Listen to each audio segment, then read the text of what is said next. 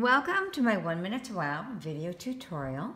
This is Mary Fish with Stampin' Pretty and stampinpretty.com. I'm an independent Stampin' Up! demonstrator and I sell the products that I'm sharing with you today in my online store. I wanted to tell you about the Season Like Christmas photopolymer stamp set. Photopolymer, photopolymer means that it's clear, translucent, and I love them with clear blocks because as you'll see when we're stamping, especially with two-step stamping, it makes lining things up so much easier. But this is about to retire. It's on the Stampin' Up! holiday uh, retirement list uh, through December 21st, I believe. Um, and then it's while supplies last. So this is a stamp set that's fun to use, mass produce, and I think it's something that you'll like to have uh, before it retires. But I wanted to just take some time today to talk to you a little bit about how I do two-step stamping. We have lots of stamp sets that have layering possibilities and this is one. As you can see on the tree there's a variety of, there's actually three images combined. There's a solid base that I used in smoky slate. Uh, it's a little more, I'll show you that one now. It's a little more of a solid tree. We'll be stamping that in smoky slate and then um, a little bit more detail, but a little less going on, and we'll be stamping that in uh, basic gray. You can see how that one's different. And then last but not least, uh, we'll be stamping the trunk, uh, which layers in just perfectly uh, with the other images, and that will be in basic gray as well.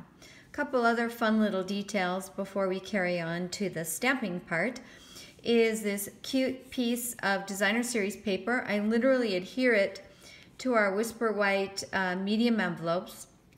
They match and coordinate with our Whisper White cardstock um, and give a really rich, luxurious look. If you're going to go to the trouble of making a beautiful card, it is well worth having um, a nice envelope. That's just my little um, editorial there. Um, and this is a piece of designer series paper um, from the Quilted Christmas 6x6 uh, designer series paper stack. It too will be retiring and right now it's only while supplies last. They're not going to continue to produce more like they are for the stamps for a little bit. And I just adhere it to the flap and then I flip it over and then I use my paper snips to carefully navigate uh, the outside of that flap. I just think it adds such a pretty touch and all together I think it looks super. And then um, additionally to crop the sentiment, which is also from the Season Like Christmas stamp set. Aren't these sweet? For both inside and outside. I cropped that using my Big Shot and the Stitched Shapes uh, framelits dies. This is a must-have. That little detail and all the ability you have in nesting, meaning you can crop several sizes of a different shape. These also coordinate with our layering ovals, layering squares, and layering circles dies. So it's pretty amazing the possibilities that you can uh, have with that. And if you can see, it has that sweet, it's actually die cut, but it looks like a little stitch detail. I think it's well worth it. And then just to add a little extra oomph, I used our um, Brights enamel dots to just add some simple ornaments. Um, keep it simple. You don't need to cover this tree with ornaments. And the heart that is also in the Brights enam enamels shapes, if I can say that. Um, it's great to have them as collection. Of course, everything with Stampin' Up! coordinates, including this real red uh, 1 8 inch solid ribbon this is gorgeous, and this is actually carrying over, and I'm really glad because it's very easy to work with, and I just adhered that with a little mini glue dot um, is tucked below. So let's get to some stamping. I have my piercing mat. Um, I use a piercing mat, and I set aside some just for stamping um, because uh, they give just a little extra cushion when I'm stamping a little bit more solid uh, stamp or a more solid image. Just that little bit of cushion with the photopolymer I think makes coverage a little bit better. And then I have grid paper which I quarter. This is actually four times this size, but I quarter it so that I can protect uh, the, the uh, piercing mat below. And all of these things are available in my uh, Stampin' Up! store. If you go to stampinpretty.com, you'll see shop, and you should be able to find these items. So I'm going to start out with Smoky Slate. And I'm going to ink this uh, more solid image up.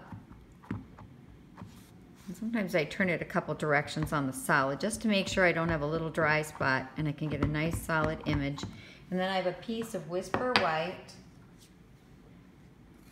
And we're just going to stamp this about here. Leaving room for the sentiment uh, on the left-hand side. Isn't that beautiful? I think it's beautiful right the way it is. But we're going to dress it up and make it look amazing and add a little, literally add some dimension just with texture. And this is basic gray. And now I'm going to take the more detailed design. Again, here's where you can really see the benefit of photopolymer. I just want to make sure I get it inked up well. And even with this, it's sort of a rustic look, so if it's not spot on, it's fine. Now, if you look through, all the way through, you'll see a few openings on the bottom tree, and I'm going to line it up with those. Just make sure I get a good transfer. Gorgeous. So now, here are those little openings I was telling you that were my guide, and that's what I'm going to use with the basic gray, making sure I've got basic gray, uh, again, to add the trunk. This is just sort of the last little detail. So I'm going to line up, see how that guy, that's my main guy, lines up with the most open space, and then I'm watching where the trunk is as well. And I'll stamp. Isn't that fantastic? And I, I love to roll with a kind of a modern look. That's just me. So I love the look of the rustic tree, but in the grays with the real red and the whisper white. I just think it's crisp and beautiful. But I had just as much fun doing this with a variety of greens. You could do it with blues, purple if that's your fancy, or even pinks. Whatever works for you. But I just think it's just gorgeous how this all, um, how simple they make creating a beautiful layered image like that is. I hope you, from watching this, um, felt like that was pretty, pretty easy. And how you can make a quick and simple card that you can mass produce and even add a little pretty um, uh, quilted Christmas paper uh, to your envelope flap for that perfect presentation. And again, one more time, this is the Season Like Christmas stamp set and it's only available until at least December 21st and then until the 2nd of January it's officially retired and after the 21st it's while supplies last. So if you like that stamp set you're going to want to go for it. The tips that I shared with you today on um, multi-layer or two-step stamping will apply to many, many more stamp sets. So happy stamping and please stop by my blog, stampinpretty.com. I love when you leave comments for me either on my blog post or on YouTube and I'll get back in touch with you whether you comment or have a question within 24 hours and usually it's more like 10 minutes. So again, thank you and happy holidays.